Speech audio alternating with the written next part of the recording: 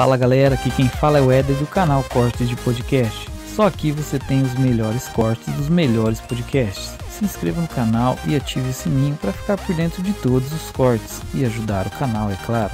Ah, não se esqueça de deixar o seu like e obrigado pela sua audiência praia. Magal, um grande abraço pra Magal você. da praia. Grande Abraço, Magal da Magal, praia não no vou UAU. aguentar até o fim, não, cara. Chão de avião, venha pra cá, aqui pro podcast. Chão de avião maravilhoso. E traga Magal Xande. da praia, que é seu vizinho aí, o Magal da boa, praia. boa. Magal da praia. Ela me traiu usando o resto das camisinhas. Ela me traiu. Usando o resto das camisinhas Olha a que eu música. deixei da última vez que a gente fez amor. É Magal da praia. Rapaz, você sabe que eu sou apaixonado pelo forró malícia. Eish. Que hoje em dia já virou a música normal, né? É. Antes Hoje dia- Sandro Beck, né?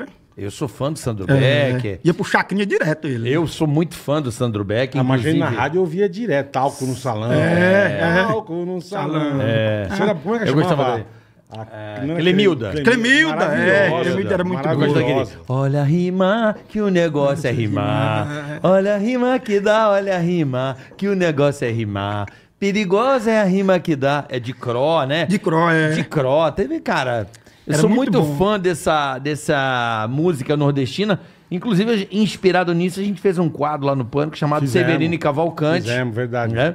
Inspirado também nessa, nessa Pô, tinha brincadeira. O gatinho Tico. É, Tico o Tico comia na sala, Tico comia, comia. é. não- Teve pô, uma, era bom demais, uma época. cara. E hoje, como é que tá isso aí? Eu viro normal, né? Porque hoje o funk só fala Ah, não, putaria. isso, né? isso- isso aí é leve. Mas não tem sacada, né? Isso aí É. tinha sacada, tinha, criatividade, né, tinha pai? pra caralho. Tinha Contava criatividade, uma né? história. É.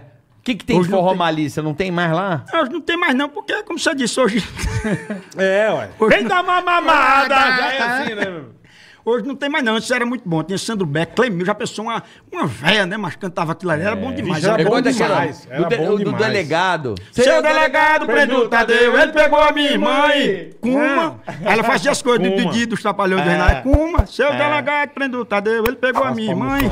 Ah, Isso obrigado. era bom demais, cara. Só que a gente vem do, do, do, do Nordeste toma água que só pega. O primeiro veio pra cá, esse cabeta aí, foi com a menina pro motel, aí a menina pagou, ele liso, fedendo a peixe. Durango. Durante o tempo bateu, quando ele viu, tinha uma piscina dentro da Eita. rapaz. Ficou dentro da piscina. Disse, e aí, não vai fazer nada nessa? Minha filha, rapariga lá no Nordeste tem mais água, não tem não. Ele ficou dentro da piscina, mas tu é doido. É bom demais. Vê um detalhe, né? Aí ela, pra mostrar, ele, ele ficou meio assim, porque ela era de São Paulo. Aí ela toda pra frente, ele lá do interior. Porque o povo não tem ideia, não, porque hoje em dia com, com, com a internet, esse pessoal do interior pega o celular e filma e tudo, mas o Sim, povo não sim. tem ideia de como essas cidades, e como eram essas cidades há 20, 30, 40, Ah, não 50 tem anos mesmo, atrás. não tem mesmo. Lá na minha cidade, Cachoeira do Sapo, eu sou de uma cidade que fica a uma hora de Natal. Sou do Rio Grande do Norte. Ah, sabe? você é do Rio Grande do Norte? É. Eu pensava que você era do Ceará. É, porque depois eu fui pro Ceará, né? Aí morei muito tempo no Ceará Mas e é depois. de- É.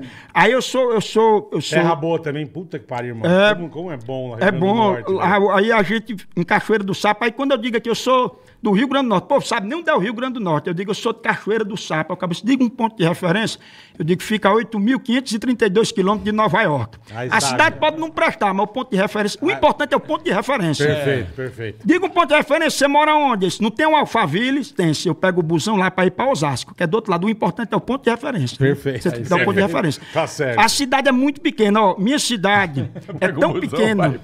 É para Osasco. Mas o cara dá Alphaville, né? É, tem Alphaville, é. Alphaville, né? Aí, ó, a minha cidade é tão pequena, tão pequena, tão pequena, se o cara tiver uma dor de barriga, ele caga a cidade todinha. Só tem dois banheiros lá na, É mesmo? É, lá na minha cidade. Dois E- banheiros? E um dos banheiros era lá em casa. Lá em casa tinha um corredor grande, aquelas casas de interior, tinha uns quartos, uma varandinha bem pequenininha, cheia de armador de rede. Aí, inclusive, papai botava armador de rede no corredor, que era pra balançar a gente, bater a cabeça numa parede na outra e afilar a cabeça. Esse menino vai pra São Paulo ficar com a cabeça bem afiladinha. Porque não tem nada mais aberto que um óculos de um cearense. Você já viu um óculos de um cearense como é? O cara precisa de capacete, né? Aberto, feito óculos de cearense, ó, mano. Eu sou cabeçudo, velho, uma porra. Cearense é, foda. Caralho. Cearense é cabeçudo, É, né, cara? Tem um tio meu que mora lá, tio Murilo. A minha família da gente é lá Ai, do Ceará velho, também. é. Quando foi agora, ele comprou um drone pra filmar a cabeça do menino dele por cima. assim. que esse drone é pra quê? É só pra ver os piolhos. Pra maquiar. Pra achar, o- Mapear pra achar o moleque. as cabeças de Carlinhos. Pô, você pega aí, pô, o Falcão lá, o cantor Falcão. Porra, cabeçudo pra caralho, velho. Nosso Esse grande é- Chico é- também. Chico tem uma Chico cabeça. Guarnizo? A jaca bonita. É. também, É cabeçudão. o famoso rasga-mãe. Comecei a aplicar tudo que eu estava aprendendo e comecei a ganhar mais dinheiro.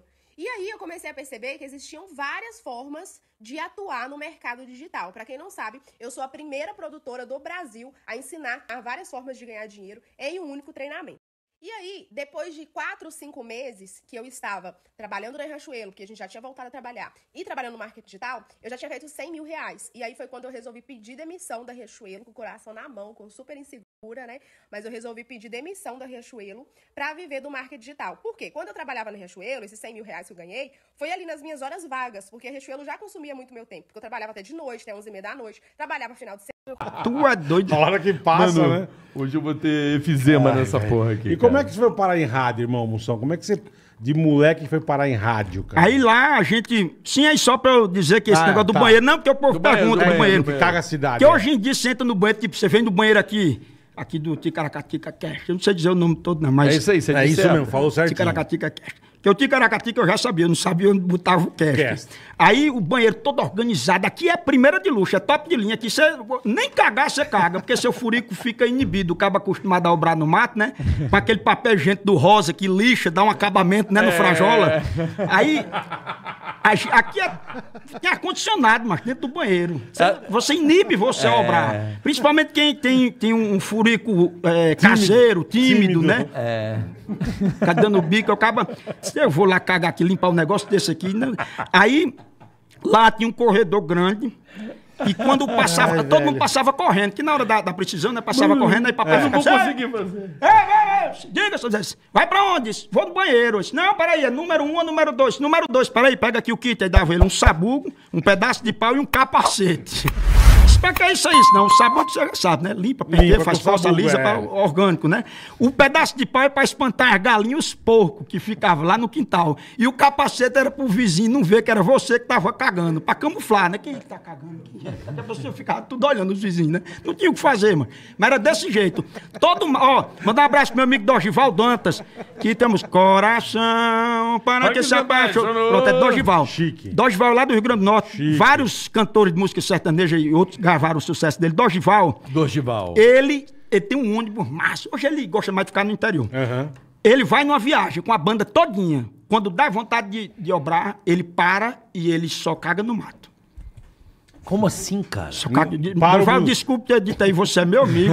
pode, mas- cara. Para o busão. porque peraí. o ônibus tem banheiro. Tem, o ônibus lógico. double deck, Ele aquele... só quer na rua. Só faz no Para mato, no mato. O conforto que o pobre tem é dar uma cagada no mato. É bom demais. É né? mesmo? É, não tem nada melhor, nada. Você fica. Ah, o seu Valência tem um vaso sentado no meio do nada lá em Olinda. É. Ele tem um. Ele tem um o- quintal Um dele tem sobrado lá em é, cima, ele caga- é. Tem um vaso. no- você sente um rei. É entendeu? mesmo? É. Você Cagando. ali, você esquece de tudo. Você vê as formigas a avó, passando. a avó já cagou no mato. Cara, já tá lembrando já. Já. É dessa época, cagava no Você mato. vê, olha aí, você vê as formigas passando. As formigas vão passando. Entendeu? Você fica vendo as, Você cagando. cagando, as galinhas vêm como um pedaço.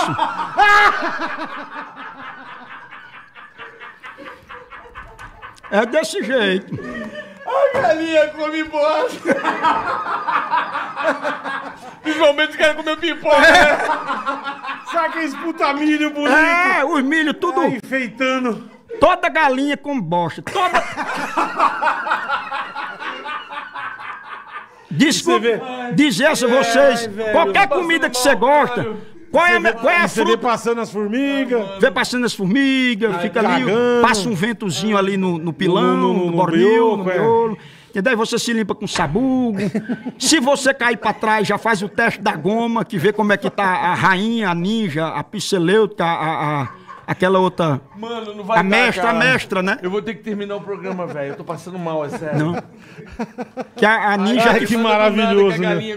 não Que maravilhoso. Vai se fuder, cara. Você é muito Então o bom louco. é cagar no mato. vai mesmo. cagar no mato. Will